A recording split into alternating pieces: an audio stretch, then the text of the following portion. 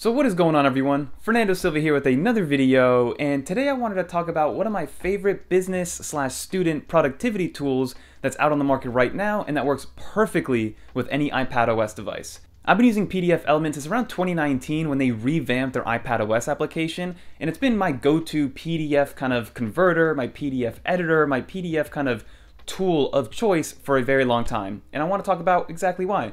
So, without further ado, let's get into this video.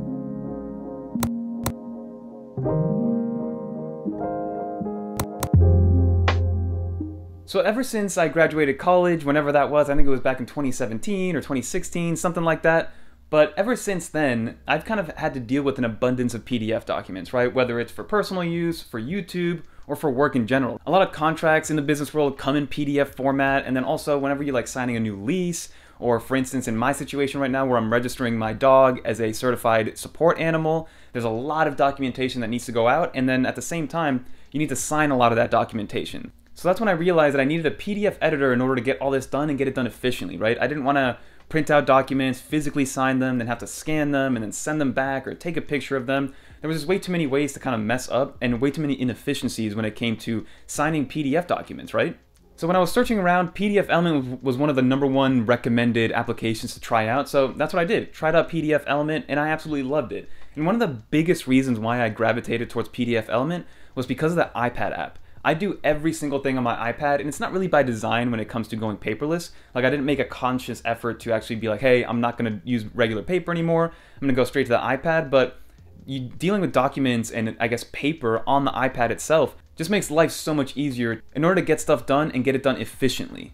And also, anyone that follows this channel consistently knows that I do pretty much everything on my iPad and do as much as I can on my iPad Pro.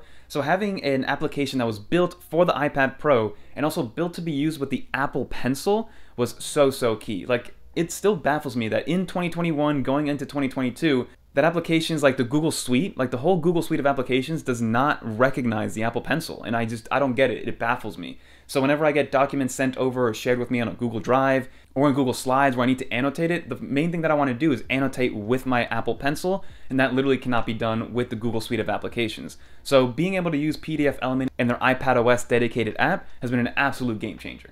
So I just want to highlight three quick things that make PDF Element just kind of my PDF editor of choice. And the first thing is going to be the single click sign, right? So when you go into PDF Element and you open up your first PDF document, you want to click on the little signature button to actually put a signature in. It's going to ask you to either use your finger or your Apple Pencil to create a signature. And then once that's done, every single time you need to sign a document, all you do is you press that button and then you get the one click signature imported into that PDF document that you need. So that's absolutely amazing. And like I said earlier in the video, we're currently in the process of registering my dog as a support animal and that involves a lot of documentation and it's all done with PDFs, right? So PDFs to sign off on your dog, being able to sign off that you need that animal as a support animal. There's a bunch of different things that go into it.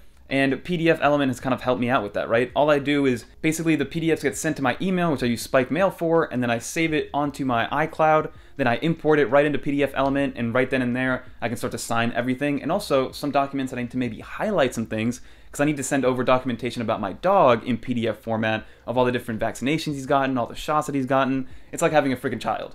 But being able to like underline, highlight, and show off that like, hey, his shot is good until 2023. Make sure you see that and you don't make me go out and get another shot for him.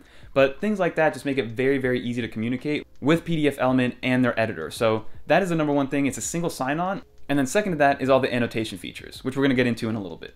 So the second biggest reason why I've been liking PDF Element is the scanning and then the annotation elements that they have in there. So yes, currently with iOS and iPadOS, you can natively scan documents into the Files app, which works great. Like absolutely works amazingly. If that's the only way that you want to do it, by all means go for it.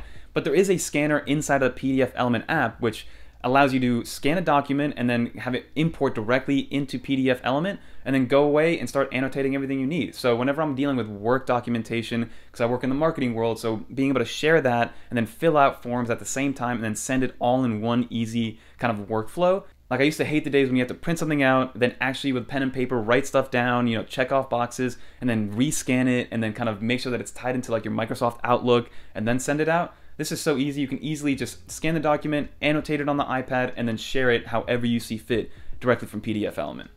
And then lastly, one of the biggest things about PDF Element is just the UI and the simplicity of it. Like in my opinion, anybody, and I mean anybody, so somebody who's techie like me, or maybe even somebody like that's an engineer and knows way more than anybody else, and just for the average person that wants to like scan their utility bill and put it in a file on their computer just so they have a record of it, right? Everything is so easy and so logically laid out that anybody can just pick it up quickly and start to use it, right? The biggest things you need to know are the plus button to be able to scan documents and add folders and import documents from the folders application. And then after that, it's just the editor itself. You have the little pen button to change your different fonts, change how thick the font is, change the color of your font. And then you have the signature, you have the signature button, which is very out in the open. So all of these things are kind of just in your face and it's very easy to use. Versus something like maybe on the Apple side, if you go to the files, you have to like know exactly where to go. You have to press on the three dots to scan a document or hold down on an empty space in the Files app, which is kind of hidden from a lot of people. Versus PDF Element, everything is like there, it's out in the open, and again, it's just very easy to use. And then finally, I do have like an honorable mention feature, which is just a converter, right? So once you're done with your annotation, once you're done with your PDF, once you're done with your document, you can then convert those files into pretty much anything, right? You can convert into a Word document, you can convert into an Excel document, you can convert it into a PowerPoint, so you can convert it to anything on the Microsoft Suite side. You can also convert it into anything on the iWork side. So you can natively convert it from a PDF document into a Pages document, and then the list goes on, right? So the built-in converter is super, super helpful, especially if you have a document, you want to scan it, put it into a Word file, and then start editing that file. It's an amazing thing to see. So overall, PDF Element gets my vote if you guys do want to download it. And, the, and one of the best things about it is that there is a free version of it. So yes, they do have some paid features and there are some limitations to the free one, but if you just need like a PDF scanner and something to annotate PDFs very quickly, I don't know any other free PDF editor with this much capability like out in the open. So overall, I love PDF Element. If you guys do want to check it out, I'll link it down in the description below. So definitely give it a look.